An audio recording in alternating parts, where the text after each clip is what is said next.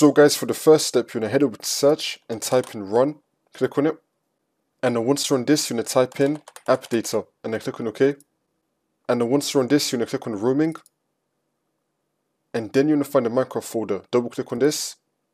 You're gonna be having a bunch of files right here, but you wanna look for the file called launcher underscore profiles.json. Delete this. Don't worry, when you open up Minecraft Launcher again, it's gonna appear again.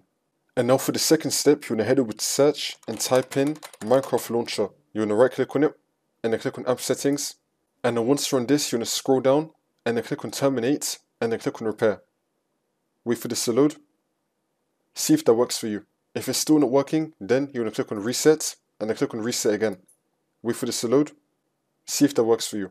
If that's still not working for the second method, you're gonna head over to search and type in add remove programs. Click on it and then once you're on this, you're to scroll down till you find Minecraft Launcher. You're to click on the three dots, click on uninstall, and then you want to uninstall this.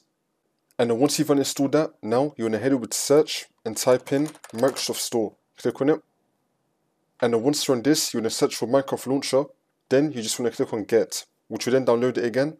Once you download it again, you just want to restart your computer, and then the problem should be fixed.